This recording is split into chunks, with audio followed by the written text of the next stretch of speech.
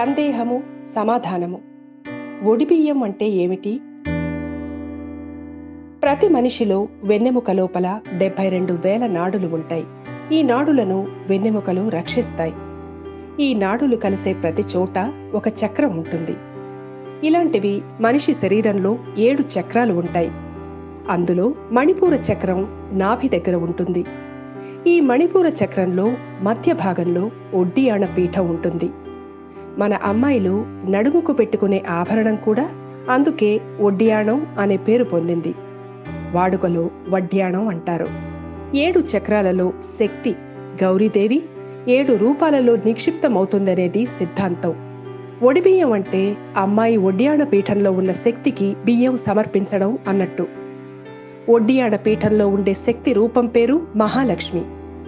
ఒడిబియ్యం అంటే ఆడపిల్లను మహాలక్ష్మి రూపంలో పూజించడం అన్నమాట. అలాగే పక్కనున్న భర్తను మహావిష్ణువులా భావించి సత్కారం చేయాలి.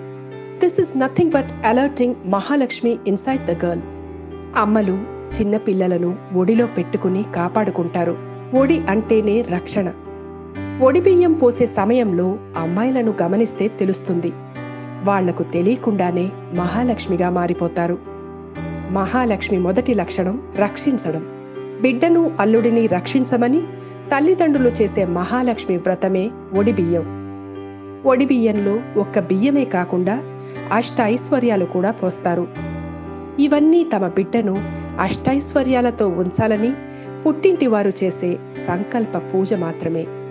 సంతోషంతో ఆ మహాలక్ష్మి ఆ ఆడపడుచు తన తల్లిగారి ఇల్లు అష్టైశ్వర్యాలతో తులతూగాలని ఐదు పిడికిళ్ళ బియ్యం అమ్మవాళ్ళకు ఇచ్చి దేవుడిని ప్రార్థించి మహాద్వారానికి నూనె రాసి పసుపు కుంకుమ బొట్లు పెట్టి అత్తవారింటికి వెళుతుంది.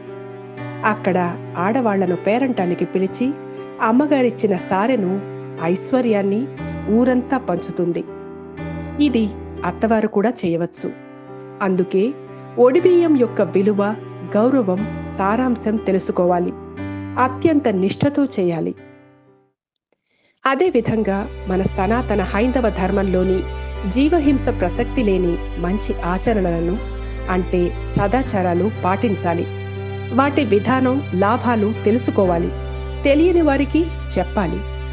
ముఖ్యంగా ఎక్కువగా పంతుళ్ళు ఆచరణల యొక్క జ్ఞానం వాటి అంతరార్థం ప్రజలకు తెలియచేయాలి. ఈ కాలంలో ఎక్కువగా వారు తెలుసుకోవడం లేదు.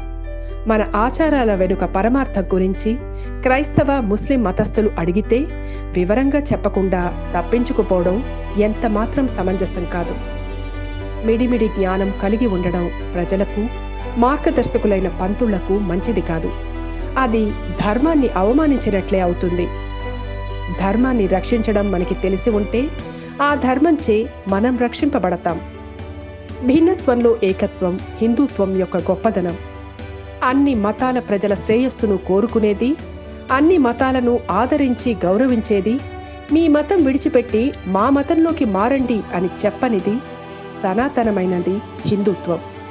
హిందువునని గర్వించు హిందువుగా జీవించు. అందరిచే గౌరవించబడు పరమాత్మచే దీవించబడు.